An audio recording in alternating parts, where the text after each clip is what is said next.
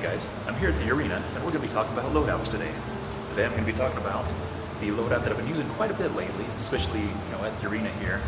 Uh, that's working really, really good. I really, really like it. But it's a simple Kronos on a holster with a mess of speed loaders that I printed on a little rack thing that I built and a dump pouch. That's all there really is to it, but it works really, really good. It sounds simple, and it is, but the Kronos has a 13 kilogram spring, a uh, loading door for the speed loaders, holster, um, grip, and not really a whole lot else. Uh, the cosmetic front end was just a piece I printed, doesn't really affect performance.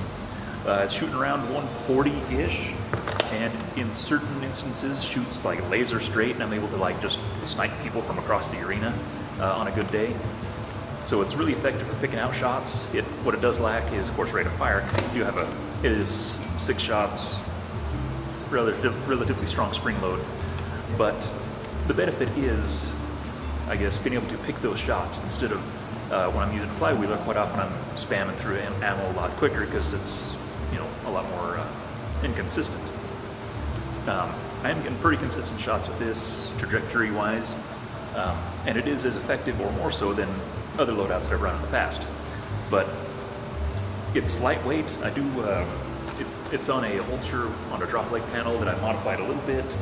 Um, instead of having just a single strap up top, I have this one as well, but I have one on the, the two top ones come either side, front and back, just to keep a little more support so it's not going to wiggle around as much. And it rides higher on my leg, just because when I'm running, I don't want to have as much mass flopping around here, because I I just wanted as, as much mass, everything kind of more towards the middle here. That's why I also like having, instead of using some kind of drop leg setup, my little uh, speed loader array here rides pretty high, and I have a relatively small dump pouch. This is just a quick, you know, not a lot of weight flopping around kind of loadout thing. But it's nice to be able to, you know, crank off six shots. And then quick and easily be up and running again. And so I can, uh, whereas most people, when they're using the Kronos, they got to poke, you know, five rounds back in. But, uh, to be able to, you know, somebody knows you're out of shot, out of shots. In fact, I had uh, a guy two times ago screwed him up because he was counting shots. I'd have one more, plus I could duck behind cover, still keep an eye on what's going on, drop that in and be good to go again. So he, he actually caught me after one round and he's like, you know what, I usually count shots so I can you know jump in on a guy. But he says, with you, I just avoid you altogether because that thing hurts and I don't know how many rounds you got and you load too fast.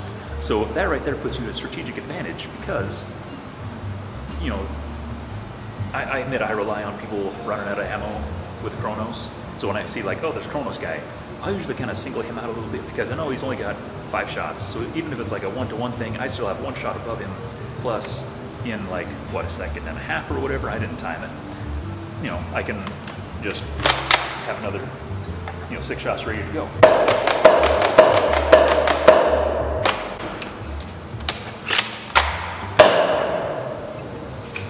So effectively, that gives me what six here times five, 30 shots, which isn't a whole lot. But given that your shots are a lot better placed and more regulated. It's a really, really effective loadout. In fact, I've rarely run out of speed loaders, but just in case, I still run a handful of rounds loose in the bottom of the dump pouch. That way, if, even if I'm out of uh, loaders, I can still duck behind cover, crank it open, grab a handful, poke them in, hopefully to get through the last guy or two on the other team, you know, before the end of the round. But it's just a, a really, really nice loadout. This is one I've been running almost exclusively lately. I've actually had to push myself into using more, uh, more different loadout stuff the last couple of weeks just because I liked it too much, and because there's times when this thing goes for the ears. I don't know what the heck it is, but there's there's been several weeks where I'll go through and i am just nailing ears all day, and little kids don't like it. It makes me feel bad, but you know it is what it is. But again, you don't need something really really elaborate or fancy or anything like that. Like I said, it's just Kronos. I don't, the only reason I have the holster is for if I use this with something else, or at least gives me a place to put it while I'm talking to everybody else between rounds or if I'm reloading. So the speed loaders themselves, uh, if they'll focus, uh, aren't really the greatest file. They worked, they were just the first file that I printed. Uh, took a lot of modifications to get them to work the way I wanted them. Um, I had to trim a little bit on the on the inside here so the rounds would come through easier. Had to change the top because the um, top cap didn't really fit right. So it was a lot more work uh, than I really anticipated. But the fact that I was able to print them and as many as I needed uh, was, you know, kind of the selling feature there. The pouch here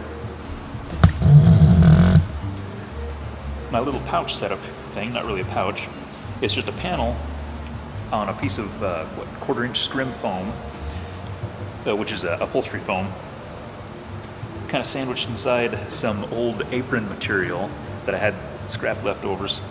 And this is just a piece of very, very thick webbing. I had considered using elastic here, but I wanted something that would hold its shape to where I could quite easily just, you know, grab and stab them in instead of having to kind of fight and loop it around and trying to get it in. I can just grab them quick and easy, replace them if I need to, good to go. The nub pouch here, I believe, is is the smaller one that Containment Crew sells. I bought it at Endwar, I believe, last year. But it works really good for the speed loaders because they're just, you can fit all of them in there without really causing any problems, but they're not going to bounce out. You have a nice semi-rigid open end here. Also works good for just like a scavenger loadout if you're not using the speed loaders because you have just a nice open pouch that still carries as many rounds as you'd really need. So, like I said, just nice, quick, simple, uncomplicated, yet extraordinarily effective for my applications type loadout. So, you have it. Hope you enjoyed that, and maybe uh, give a simple loadout, just a pistol loadout, a try, because I've been able to take out several Nemesis guys and very uh, heavy loaded out guys on the arena. So try new things and see how that works out for you. I'll see you guys later.